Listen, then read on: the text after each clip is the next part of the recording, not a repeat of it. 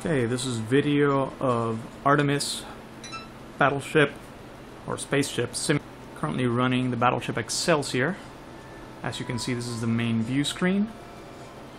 I will now give you uh, different views on the main view screen, including to our left. To our right, you can see some Romulan ships, which will now be coming up on our rear as the ship continues its turn. There they are. Uh, this is the helm station, where all the maneuvering is done. You can see our enemy ships on the screen and some friendlies coming up in the front of the ship, which I will now bring up on the main view screen. You can see in the distance there. Uh, now it will take us to our weapon station. Can see here different weapons are loaded. I'll now bring up some mines. And, uh, well, that's going to be too far out. But you guys get the idea. You can do different zooms. You can see the weapon arcs on the ship and on the enemy ships. Uh, I will now bring up the Science Con.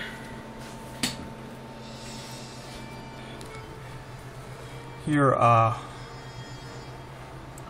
you can move different sensors and get uh, different information as in here on the ships, including what frequencies their lasers are weak to. I mean, their shields are weak to on phasers. Uh, we can scan these uh, anomalies to our right uh, if we were closer to them. Over here is the engineering view screen. Uh, here you can assign different teams to go to different areas to fix different parts of the ship. You can change the power levels on all of the ship's systems and affect when they overheat you can uh, put different levels of cooling into them. And here we can see uh, some cinematic views of our ship flying around.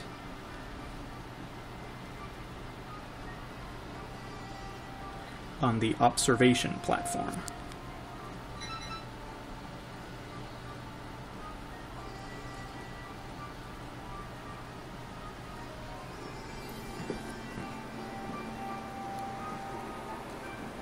And thanks for watching.